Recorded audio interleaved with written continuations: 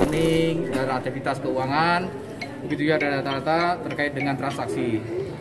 Nah saat ini memang sektor perdagangan tadi sedang marak, tetapi dari sekian banyak pelaku itu tetap ada saja yang melakukan pelanggaran.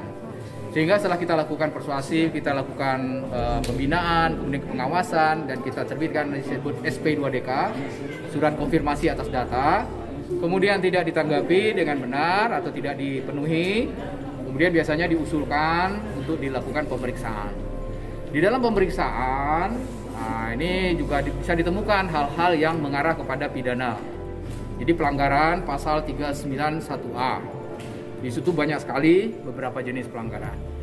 Nah, per hari ini kita sudah menaikkan 15 wajib pajak dalam proses buk bukper. Jadi bukti pemulaan, pemeriksaan bukti pemu, permu, pemulaan, permulaan. ya. Ya, jadi 15 ini itu berpotensi untuk nanti ini. Jadi sudah ada indikasi, ada modus, ada pasal yang dilanggar, ada kerugian negara. Tentu ada pelakunya. Nah, ini akan dalam buper akan dicari ditemukan. Nah, di luar yang 15 ini sudah sedang dalam proses penyidikan 4 4 WP. Ya. Yang teman-teman tahu yang beberapa bulan kemarin kita pernah ya ke, bertemu di Kajati ya.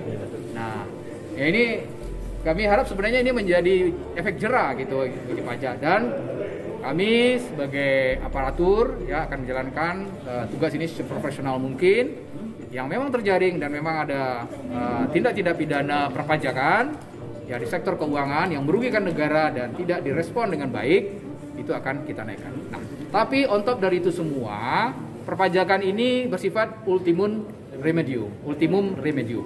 Ultimum remedium itu adalah mendahulukan pendapatan negara daripada menghukum secara pidana.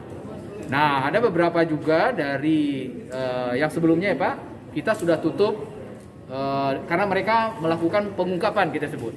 Jadi ada pasal 8 ayat 3. 8 ayat 3 itu pengungkapannya sewaktu dia buper atau di pemeriksa uh, uh, buper. Tapi waktu kita buper dia langsung, oh udah oke okay, kita kita bayar. Itu dendanya 100%. 100%. Kalau kita temukan 1 miliar harus bayar 2 miliar.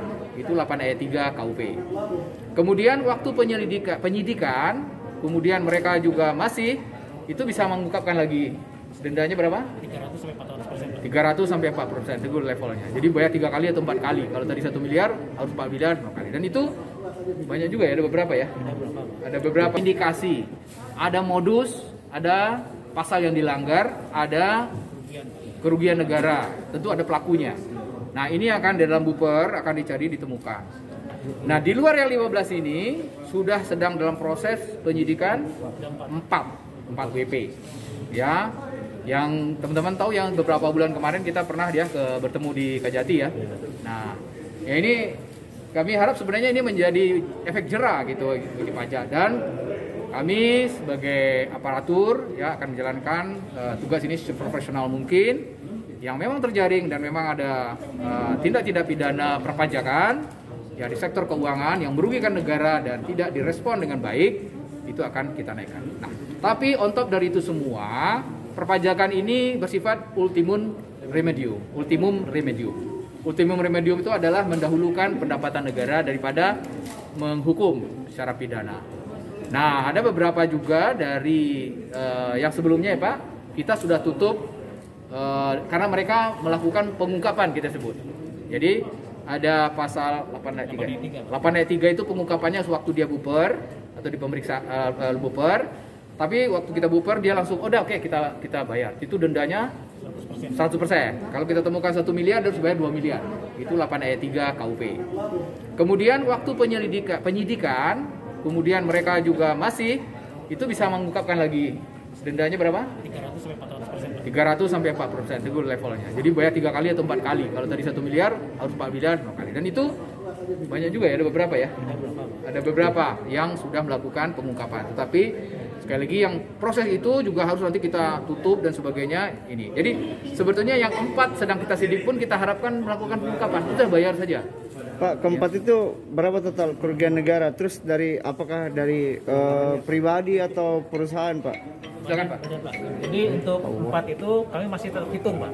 Karena kami tetap hitung karena indikasi awal ada kerugian-kerugian, tapi nanti kita perhitungkan dengan apa yang wajib pajak telah laporkan. Empat itu eh, rata-rata modusnya adalah badan, pelakunya adalah badan, badan usaha. Tetapi kalau kita bicara soal tindak pidana perpajakan, nanti yang ikut bertanggung jawab adalah orang pribadi yang menjalankan badan itu. Jadi bisa dua. Kita sedang mencoba tindak pidana korporasi juga, Pak. Jadi kita mempidanakan badannya, bukan cuma sekedar orang pribadi, tapi juga mempidanakan badannya. Itu mungkin sebagai informasinya, Pak. Kerugian negaranya Pak yang timbul kan berapa? Kerugian negaranya kita masih hitung dulu, Pak. Karena itu bisa bergerak. Tergantung temuan-temuan pada saat kita melakukan pemeriksaan dan penyidikan. Kan. Nanti angkanya kita sampaikan ya kalau udah ada. Siap. Terima kasih Bapak.